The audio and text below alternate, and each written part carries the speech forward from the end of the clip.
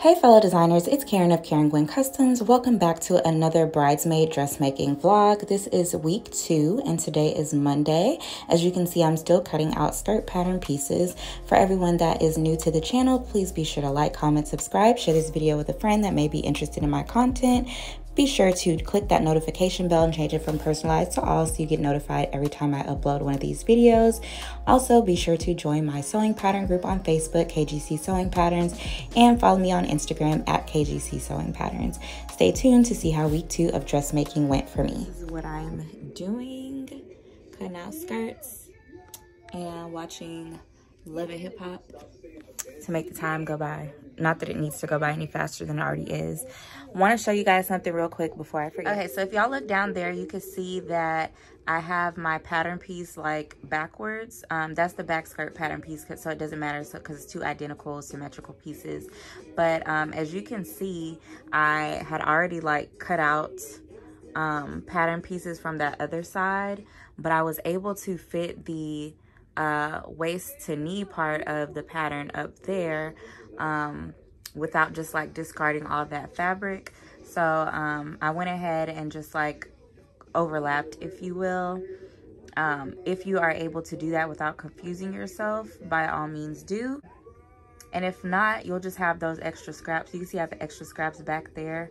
Those are to be, um, I'm to use those to cut out bodice pieces if I can fit them. But I'm thinking with this overlapping, I might save even more fabric and be able to make like an extra dress or something. Just wanted to mention that. All right, so I just finished cutting out skirt number six. It is 1 a.m. and I'm sleepy, so I'm going to stop and go take a shower and get ready for bed.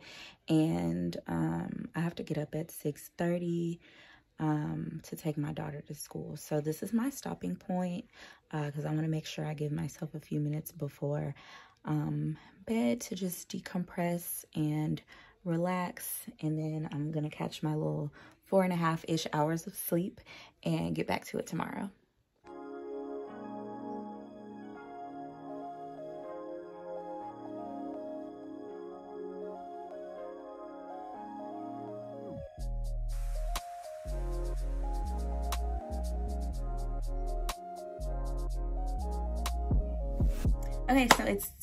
Night. It's like 6.30 in the evening. I just came back from a little decompression uh, ride in my car. I just went and got a caramel frappe and I took my little journal and my self-help book that I'm reading right now with me and just spent a little bit of time doing like some journaling and self-reflecting. And so now I feel like refreshed and ready to tackle my sewing evening. Um, I have a total of six skirt bottoms cut out. And tonight I really really really want to finish the rest of them I've been averaging like one hour per skirt bottom which was I, don't know if that's normal but for me it feels like it's ridiculously slow. Um, so I'm gonna try to speed it up. I'm gonna see if I can get two cut out per hour tonight because I really want to be done with that part so I can move on to the next thing. And um, yeah that's pretty much it. I'm gonna get started. I'll let you guys know um, at the end of the night how it goes.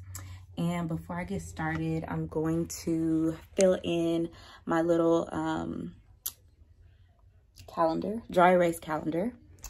Um, just because I like barely ever fill it out and I'm really trying to get more organized. So yeah, I'm going to do that really quickly and then I'll get started with cutting out the um, next set of skirts.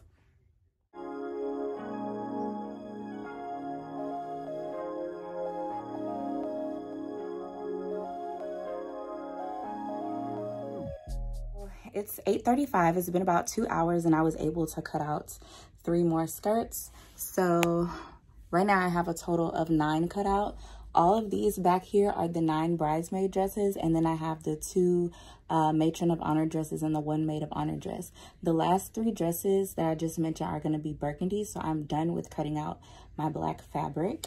And let me show you guys how much I have left because I obviously ordered like way too much.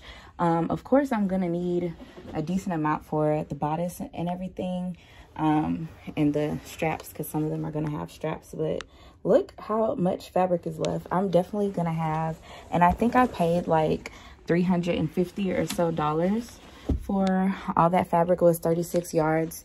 Um, I'm definitely to have a lot left over to like make other dresses. So I'm happy about that Um because I definitely still made a profit.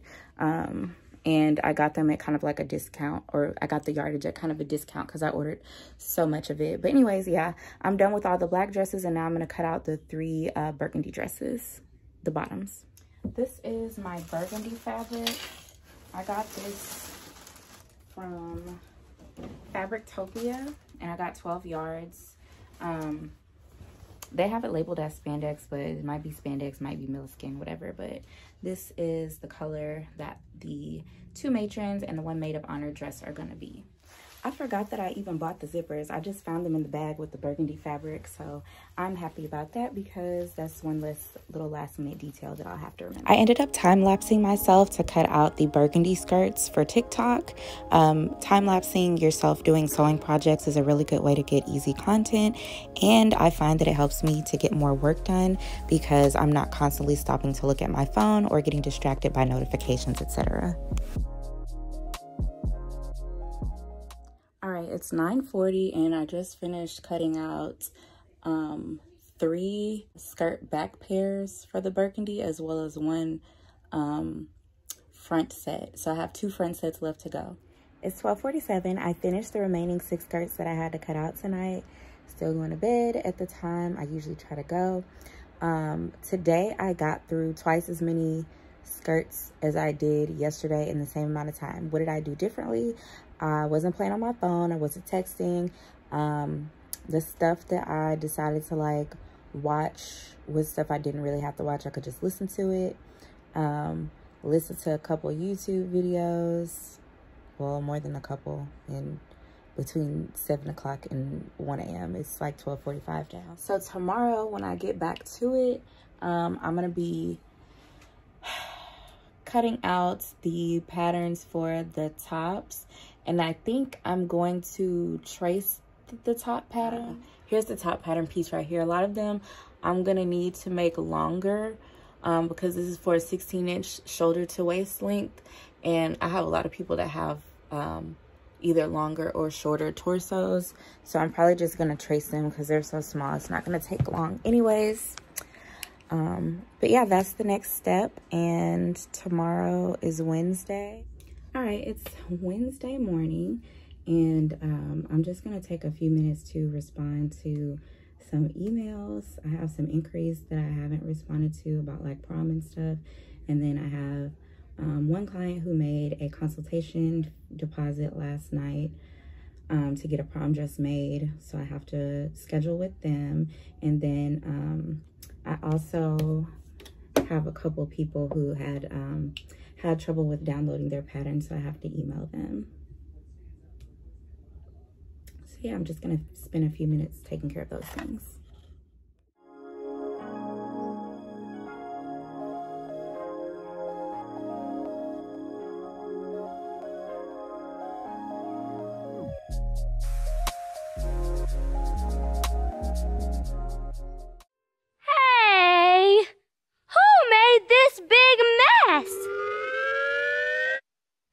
Big blowhard? It was me? Well then, I guess I better clean it up. It's only fair. So, get ready for the 10 second tidy. Ready, set, go!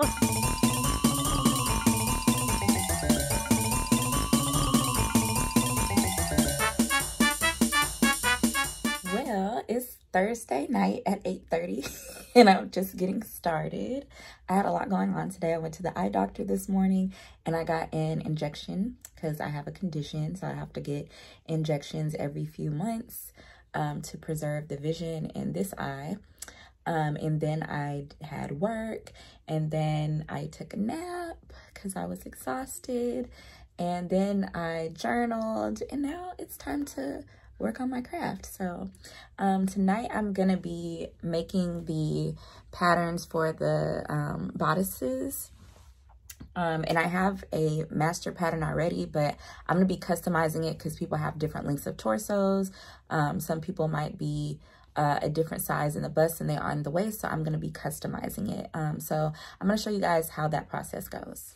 Okay, so for this part of the process, we're going to be using easel paper. Um, I either got this from Michael's or Amazon, probably Michael's, um, but you can find it at either of those places. It's literally just like um, art paper that, you know, you paint on in school. And I use this for tracing paper to trace my patterns so that I don't have to cut a new pattern every single time. Um, this is the first set of measurements that we're going to be working with. As you can see, um, I've already identified the person's uh, bust and waist measurements. So their bust is between a medium and a large, but closer to a large. Their waist is between a small and a medium, but closer to a medium.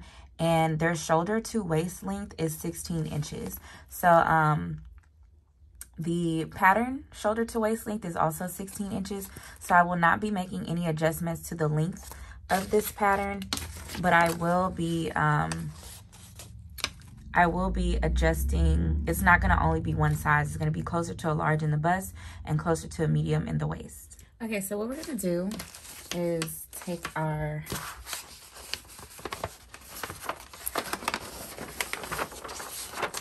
paper and lay the pattern piece underneath it.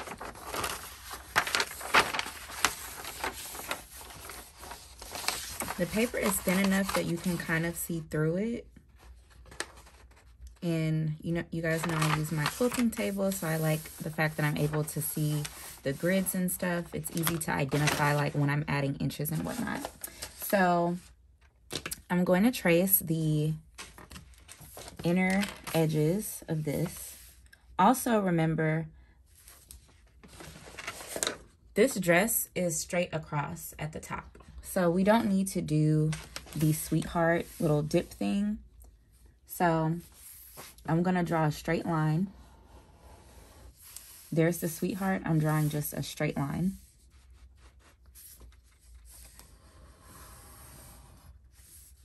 The waist is between a small and a medium, but closer to a medium.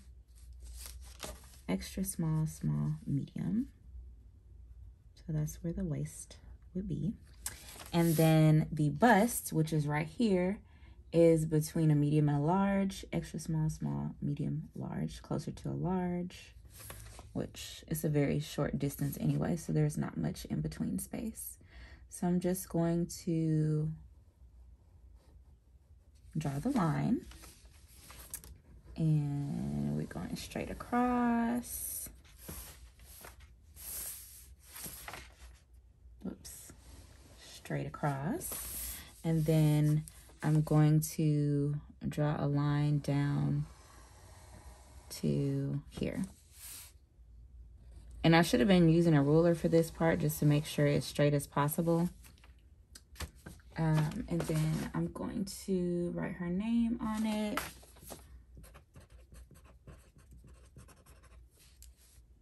Bodice black and this is actually the center.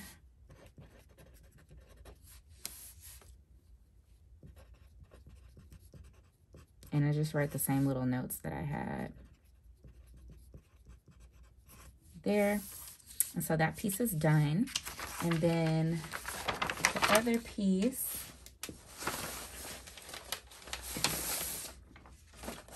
is the side.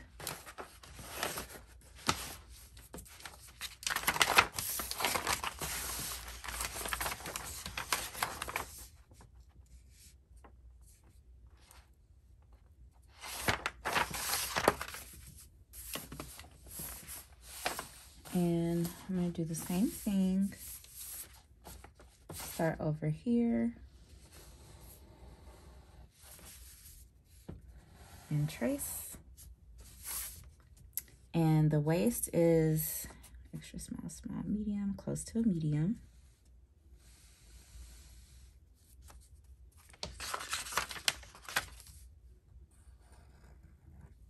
And then the bust which is up here,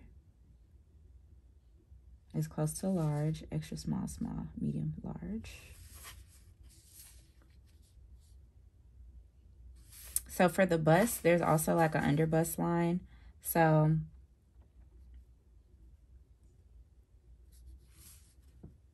I just follow the way it looks. And then once I reach under bust, then I draw a straight line from waist to under bust. And then the rest of this kind of follows the same pattern. I know is a little sloppy, but um, I'm using a permanent marker so I can't erase it. It's just easier for me to use this kind of marker so that you guys can see it on camera.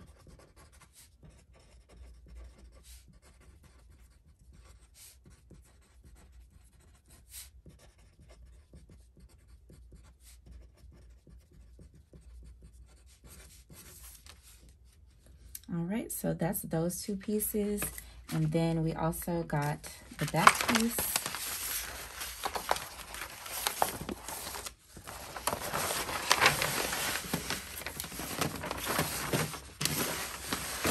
I just, sometimes I, instead of like cutting out everything one by one, I'll just literally keep rolling my um, paper and then I'll just cut everything out at once. This is the center back.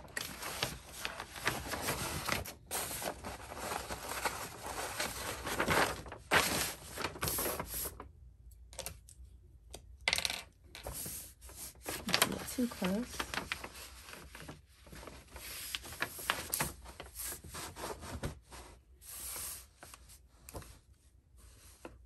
Okay, so the waist is closer to a medium extra small, small, medium.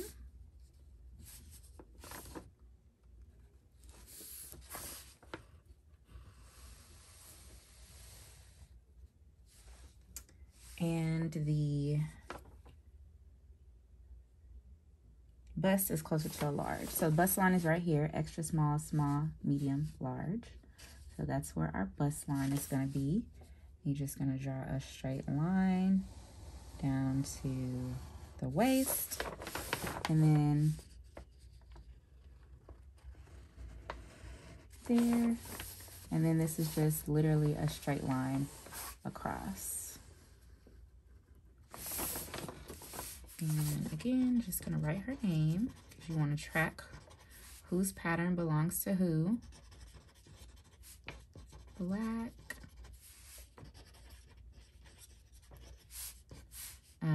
we're going to be cutting four of these.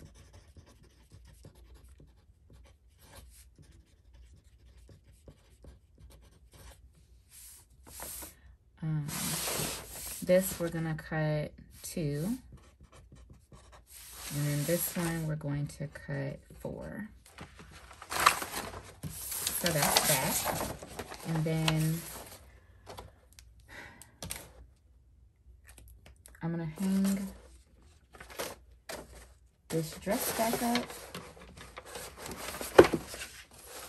and move on to the next one.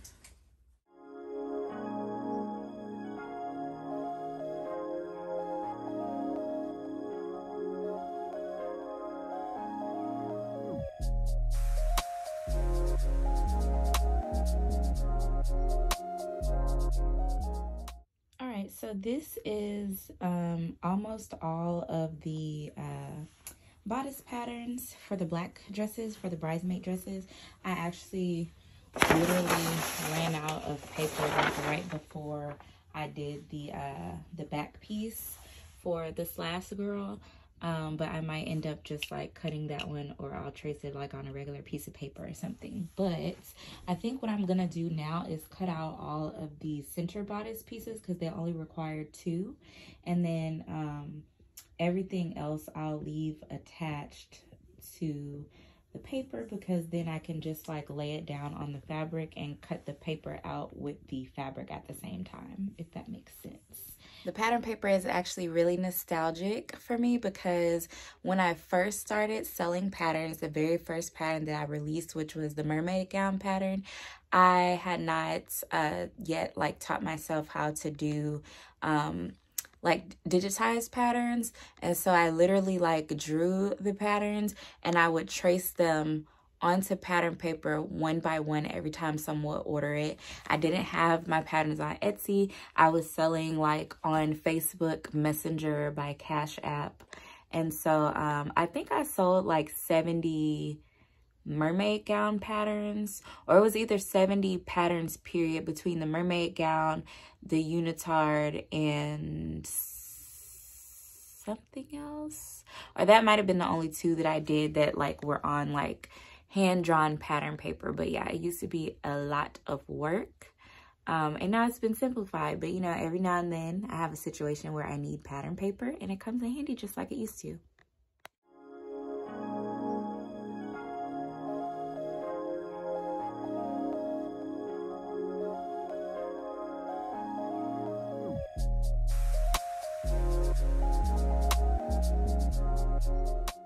So I'm done um, cutting out all the like centerpieces for the black dress bodices.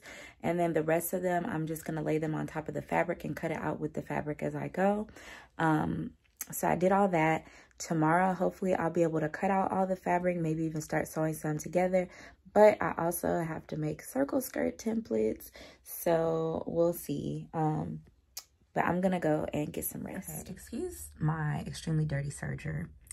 Um, I just had changed my blades because my machine was no longer cutting fabric. So I thought my blades were dull. Um, and from what I'm looking at, it looks like the two blades are supposed to be closer together and that's why it's not cutting. I don't know why they're not touching, but I think they're supposed to be. So I'm about to, I got, I took all this stuff off and I'm about to unscrew, um, these, put them back on and see if I can get them to like touch each other like they're supposed to.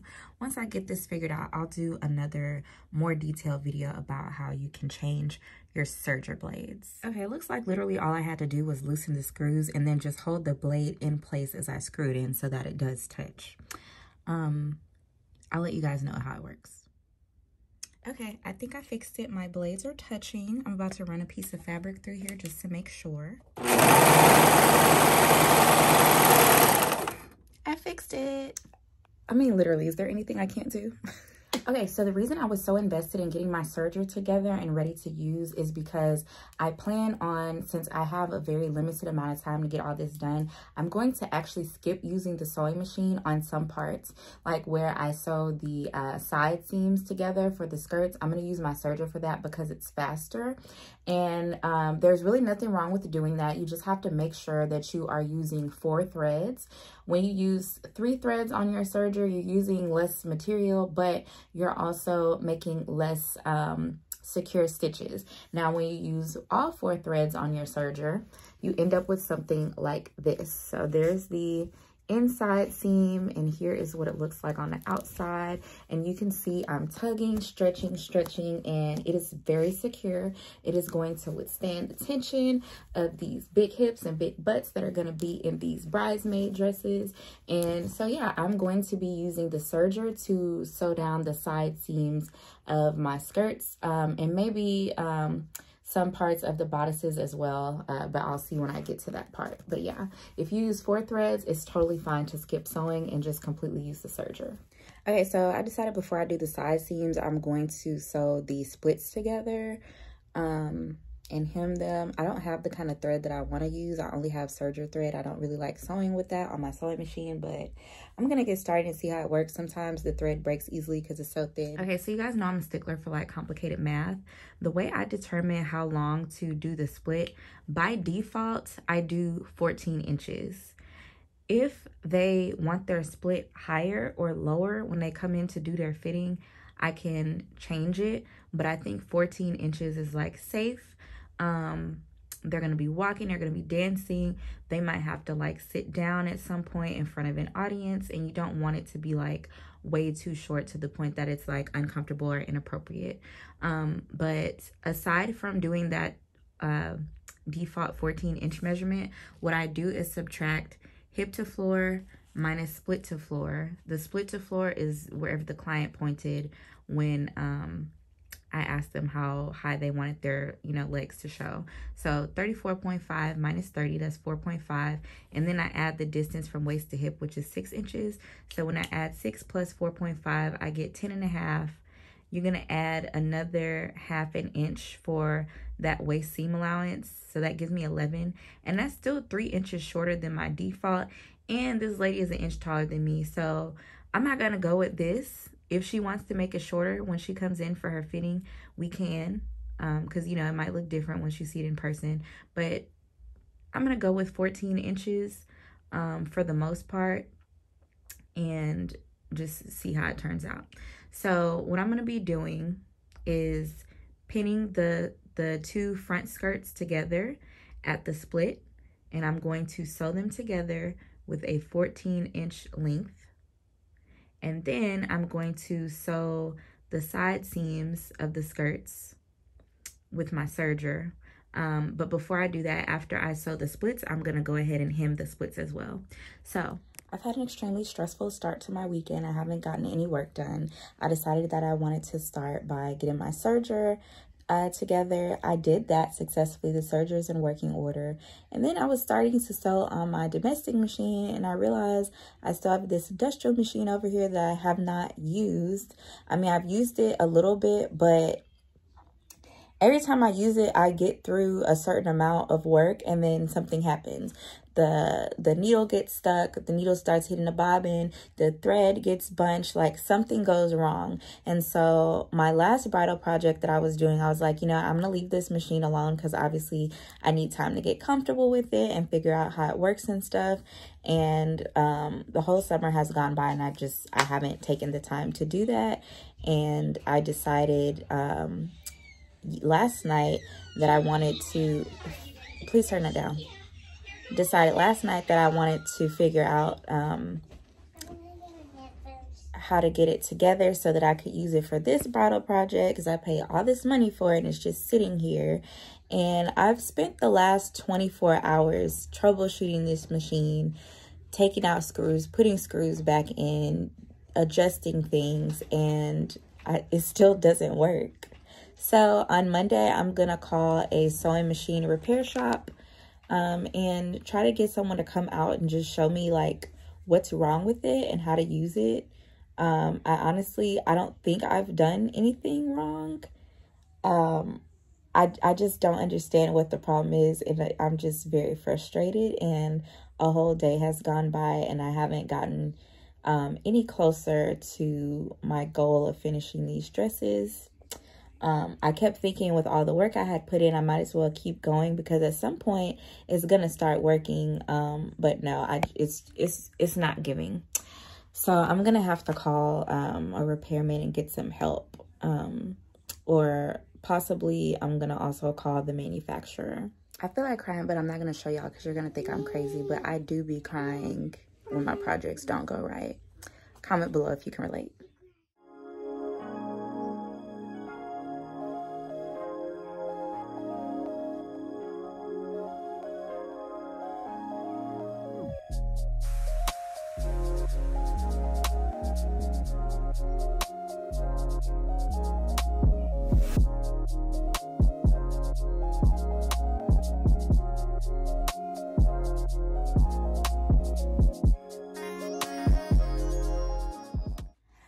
So that little time lapse that you just saw was an hour of work for me and I was able to um, sew together uh, the splits, hem the splits, and um, serge together the side seams for three skirts. So I was able to get through three skirts in one hour. Okay, so it's never the best idea to sew when you're tired, and that's what I've been doing. It's uh, a little bit after midnight. And as you can see, I made my way all the way through all of these skirts, the black ones. Um, and I guess that was like four and a half hours. But um, I took longer than I needed to. Remember the first three I got through in only one hour. So I should have been able to do all this in, in three hours. Um, I took some breaks. I had dinner, whatever. Um, but um, I got to the last skirt and when I got ready to pin, I realized that my um, split seam has like a hip to it. And so as you can see, I, this side has a hip and this doesn't. So I actually sewed my skirt together backwards. And so I'm gonna have to pick, not only pick the split out, but I also hemmed the entire split as well. So I'm going to have to seam rip all of that. And the lazy part of me says to just cut out another skirt, two more skirt pieces, because I have a lot of fabric. So do I like waste the money and just cut out two more? I think I'm probably going to do that. Um, and I also think that I'm tired and I should stop for today. It's 1.30 a.m. I decided to not be lazy. I went ahead and picked out the incorrect stitches from the skirt that I sewed together wrong and I fixed it. So now all nine of the black bridesmaid dresses have been sewn together from waist to floor. The only thing that's missing is the hem on the bottom. Um, so they're ready to have tops attached. And then the burgundy ones I'm going to do tomorrow because I don't have uh, thread cones, uh, serger thread cones in burgundy. So I'm going to go to the store tomorrow and get some so I can knock these last three out. Um, and also tomorrow I'm going to be cutting out the bodices and the boning that goes in the bodice pieces. I plan on sleeping in tomorrow, so I'm watching Power before I go to bed. The next day I cut out the bodice pieces. In this first clip, I'm cutting out the back pieces and the side pieces and I have the fabric folded over three times so that I'm cutting out four pieces at a time. And then this, this next clip, I'm cutting out these center pieces and I have the fabric folded over twice so that I'm getting two pieces at a time. I just pulled up to Fabrictopia's new location. You can barely see the sign because it's super, super windy outside in Houston today. Um, but I'm about to walk in and check out what they have. It's near the last location they had. It's literally at the corner of Richmond and Fondren now.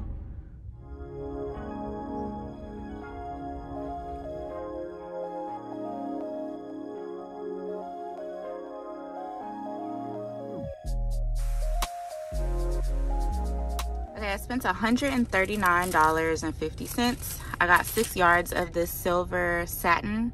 I think this was uh, crepe satin. I love, love, love crepe satin. And then I got um, three and a half yards of this um, nude spandex and then four yards of this uh, nude uh, mesh. Well, it's really called stretch tulle, but it's very strong. Like I never have problems with it. I was very nervous about the um, color of the spandex because my bride's skin is a little bit lighter than mine. I really wanted it to be a good match. I actually asked uh, one of the employees in there, uh, he was a Hispanic guy. His skin is lighter than mine, and I felt like her skin is somewhere between mine and his.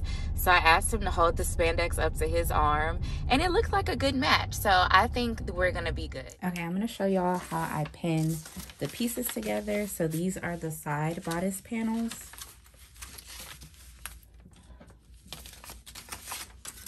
And so you should have four. And then these are the center bodice panels and you should have two of these.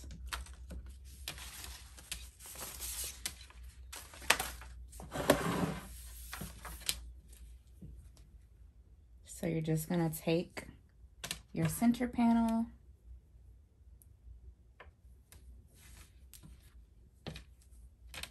and lay it right side up. So these are the shiny sides. And then you're gonna take your side panel and lay it shiny side down.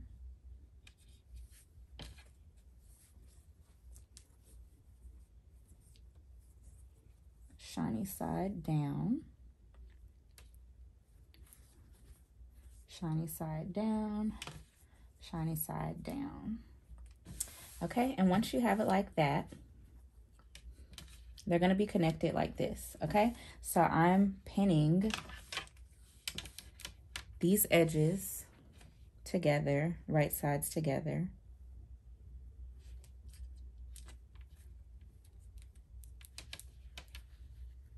And I'm gonna serge this using about a half inch seam allowance.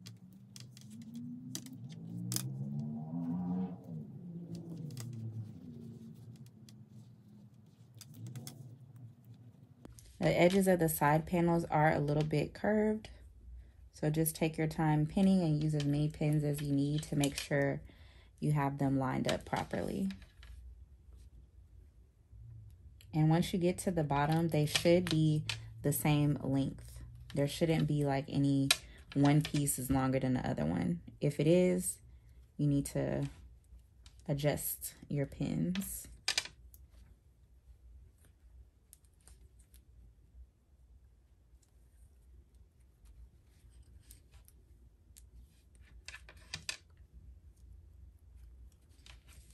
So that's that one side. And now pin the other side.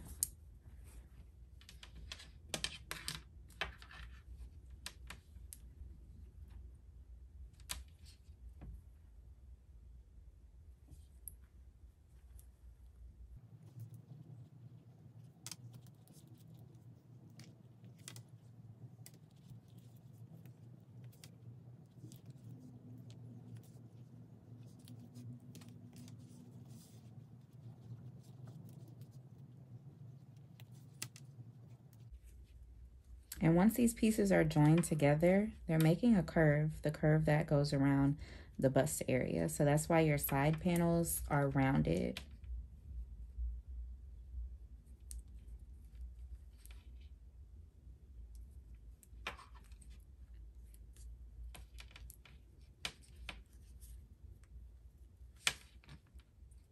I'm just adjusting my pins very slightly and I think we are good. And you're gonna do the same thing with the other set. So you'll end up having two sets. One will be your lining and one will be your main or outer fabric. So I'm gonna go ahead and pin this one and then I'm going to um, be serging them. So I'll serge this and serge this. And then after that, um, I'll need to cut the boning so that I can insert the boning.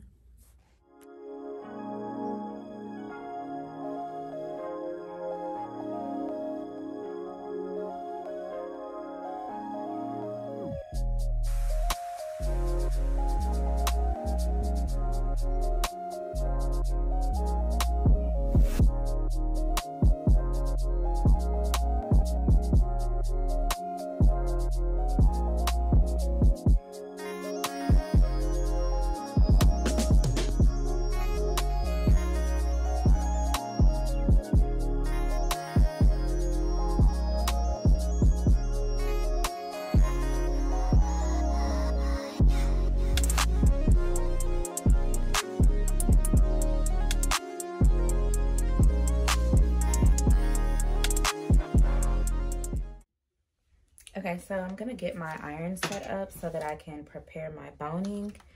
And I always steam iron my boning, so I'm just going to pour some water in from one of the many open water bottles my daughter just be leaving in my sewing room that she doesn't finish.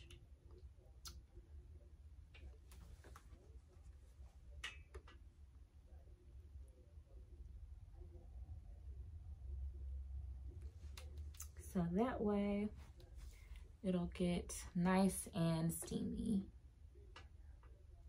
Probably enough. Plug it in.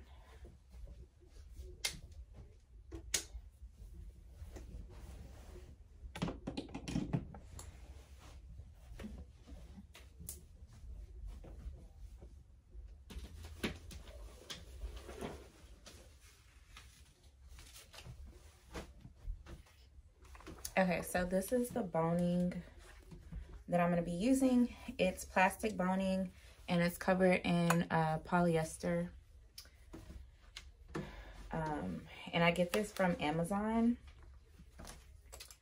You can get a big roll for, I don't remember how much it costs, but I'll put the link in the description box in case you guys are interested.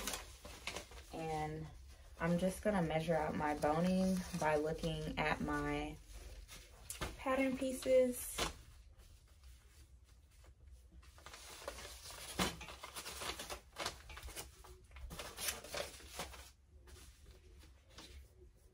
And I have on the pattern, I have measurements for how long you're supposed to cut the boning. Um, but I just like to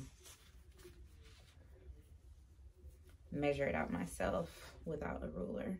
So what I do is I just place the boning, I line it up with the seams, the side seams from the bodice to see how long it needs to be.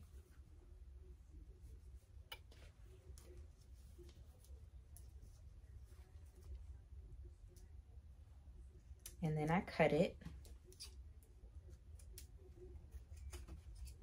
And I cut two times.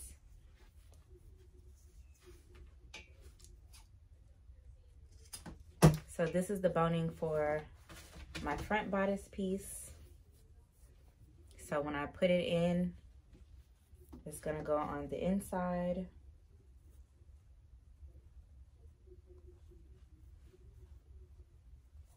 See, perfect. So that's those pieces. And then I also take a piece from the back.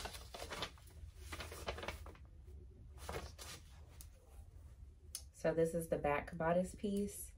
I literally just fold it in half.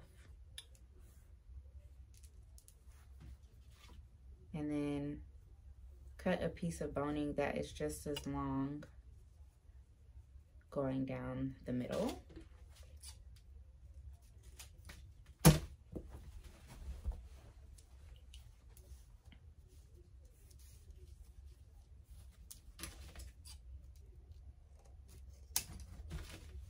So those are my back pieces. And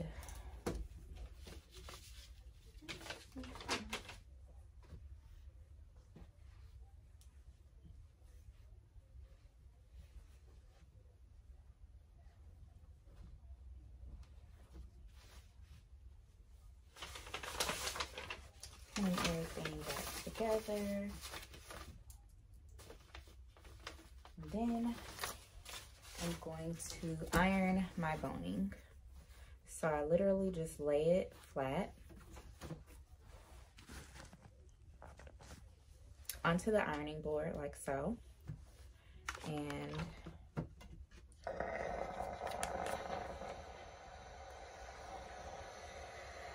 you can hear the steam coming out. Super hot steam that's gonna get this boning nice and flat. When I first started using boning, I did not know you were supposed to iron it. So it was difficult to work with because there I was trying to sew this like curled plastic into areas that were supposed to be straight. So always, always iron your boning. And look how nice and straight it is now. Um, and then the next thing I do is I will take my boning. I usually like to do this on my table so I can see the measurements. But I'll just get a piece of measuring tape. So I'll take my boning and I'll slide the plastic out by about an inch and a quarter. And then I cut it. The reason that we're cutting the boning off, see my finger for reference. The reason that we're cutting the plastic out is because you need the ends of your boning to not have plastic in it. See, once you slide it back in, you have this little piece and this little piece. And so that way we can sew our boning edges down into the garment without sewing through the plastic.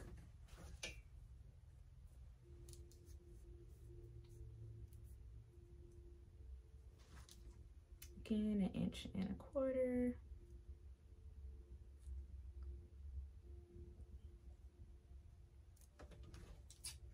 Snip, snip. And that boning is now ready. So I'm just going to pin it to my pattern pieces.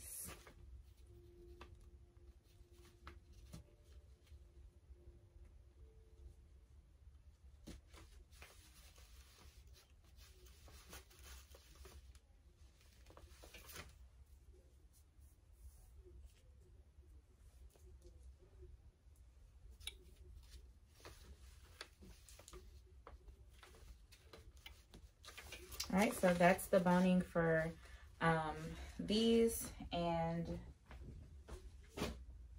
I'm just gonna go ahead and cut all the rest of them.